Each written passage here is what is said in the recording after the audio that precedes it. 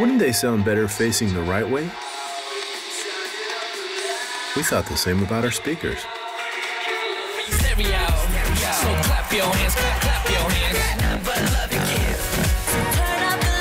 HTC BoomSound, dual frontal stereo speakers with built in amplifiers for sharper, richer sound.